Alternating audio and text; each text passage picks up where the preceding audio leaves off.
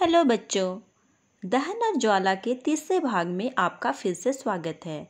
आशा है आप इस पाठ के पहले और दूसरे भाग को देख चुके हैं और समझ चुके होंगे। आपने देखा होगा, घर में या किसी उद्योग धंधे में ऊष्मा ऊर्जा के स्रोत के लिए लकड़ी, कोयला, गोबर का गोईठा मिट्टी का तेल, एलपीजी गैस इत्यादि का प्रयोग किया जाता है। ये सभी पदार्थ ईंधन कहलाते हैं। अर्थात, वैसे पदार्थ जिनका हम ऊष्मा ऊर्जा के स्रोत के रूप में उपयोग करते हैं, उन पदार्थों को ईंधन कहते हैं। जैसे लकड़ी, कोयला, गोबर का गोईठा केरोसिन तेल, एलपीजी गैस इत्यादि। क्या ईंधन को आदर्श होना चाहिए? ईंधन के आदर्श होने की क्या शर्तें हैं? एक आदर्श ईंधन वह है, जो अधिक ऊष्मा उत्पन्न करता है, जिसका ज्वलन ताप ना तो अधिक होता है और ना ही कम, जो सस्ता और सुगमता पूर्वक उपलब्ध होता है तथा जो अधिक अपशिष्ट पदार्थ नहीं छोड़ता है। इसके साथ ही जिसका परिवहन एवं संग्रह करना आसान होता है।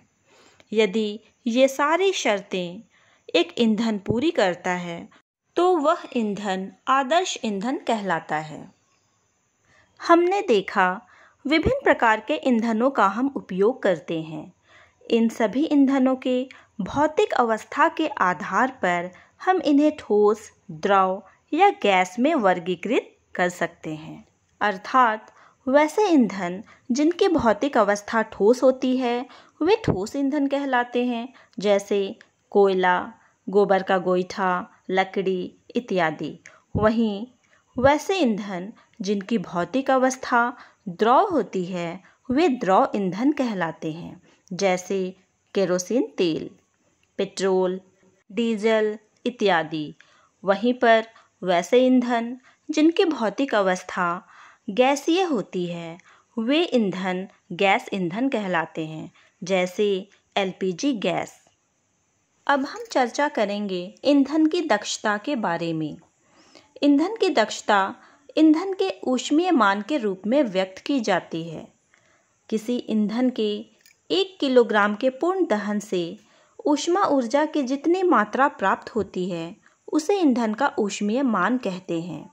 ईंधन के ऊष्मीय मान का मात्रक किलो जूल प्रति किलोग्राम होता है।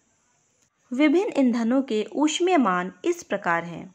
गोबर के उपले का ऊष्मीय मान है 6000 से 8000 किलो जूल प्रति किलोग्राम। लकड़ी का ऊष्मीय मान है 17000 से 22000 किलो जूल प्रति किलोग्राम। कोयला का ऊष्मीय मान है 25000 से 33000 किलो जूल प्रति किलोग्राम। पेट्रोल, डीजल तथा मिट्टी का तेल का ऊष्मीय मान है पैंतालीस हज़ार किलो जूल प्रति किलोग्राम। मीथेन का ऊष्मीय मान है पचपन हज़ार किलो जूल प्रति किलोग्राम। जैव गैस का ऊष्मीय मान है पैंतीस हज़ार से चालीस हज़ार किलो जूल प्रति किलोग्राम। वहीं हाइड्रोजन का ऊष्मीय मान है एक लाख पचास हज़ार किलो जूल प्रति किलोग्राम। बच्चों, आपने देखा दिए गए ईंधनों में ऊष्मीय मान के आधार पर सबसे अच्छा ईंधन हाइड्रोजन है। लेकिन हम अपने दैनिक जीवन में हाइड्रोजन का उपयोग नहीं कर सकते हैं। इसका कारण है, यह आवाज़ के साथ एकाएक पूरा जल जाता है। अब हम जानेंगे ईंधन के दहन का पर्यावरण पर क्या प्रभाव पड़ता है। ईंधन के दहन से हानिकारक उत्पाद प्राप्त होते हैं। आप जानते हैं कि ईंधन का उपयोग प्रतिदिन किया जाता है। ईंधन के उपयोग के बगैर हम एक दिन भी नहीं रह सकते। परंतु ईंधन का बढ़ता हुआ उपयोग हमारे पर्यावरण पर हानिकारक प्रभाव डाल रहा है। ईंधन के दहन से कई हानिकारक उत्पाद बनते हैं। जैसे कुछ उत्पाद इस प्रकार हैं। पहला, लकड़ी कोयला, पेट्रोल इत्यादि बिना जले कार्बन के कण छोड़ते हैं। ये खतरनाक प्रदूषक हैं और दमा जैसे श्वास रोग उत्पन्न करते हैं। दूसरा, यदि दहन के दौरान ईंधन को प्रचुर मात्रा में ऑक्सीजन प्राप्त नहीं होता है तो यह कार्बन मोनोऑक्साइड जैसी खतरनाक गैस उत्पन्न करते हैं, जो विषैला होता है।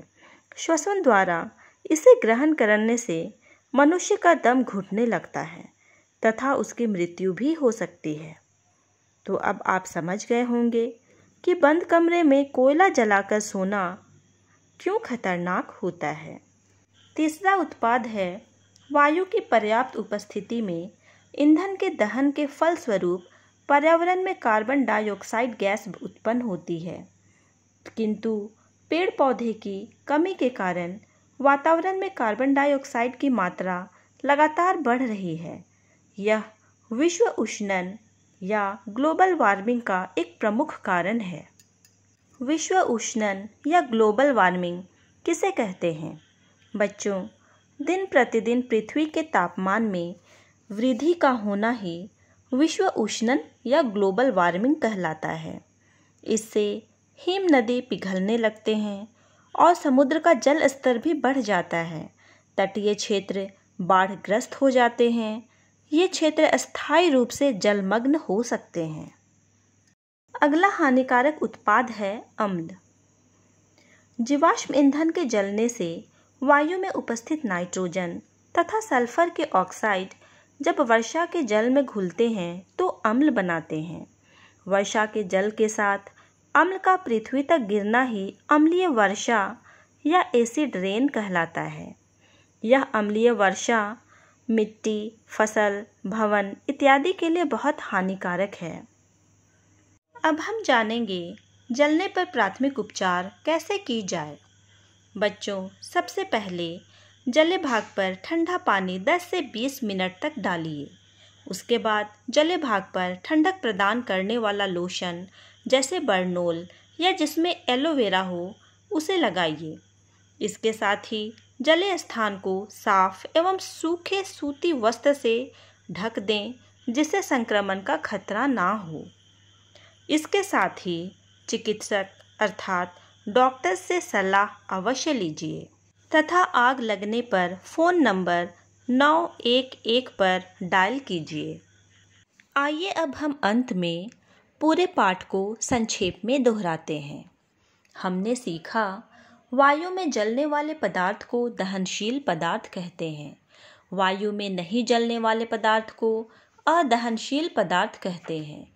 दहन के लिए आवश्यक ज्वलन ताप के साथ साथ दहनशील पदार्थ एवं वायु दोनों की उपस्थिति अनिवार्य है। इसके साथ ही हमने सीखा, ज्वलन ताप वह न्यूनतम ताप है, जिस ताप पर कोई पदार्थ जलना आरंभ कर देता है। आग की उत्पत्ति के लिए आवश्यक तीन शर्तों में से एक या अधिक को हटाकर आग को नियंत्रित किया जा सकता है।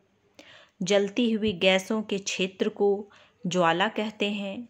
ज्वाला का मध्य भाग अर्थात दीप्त क्षेत्र चमकीला होता है। यह भाग कार्बन के कम जले कणों के कारण चमकता रहता है।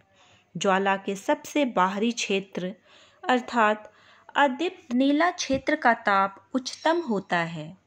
ईंधनों की दक्षता उसके ऊष्मीय मान के रूप में व्यक्त होती है।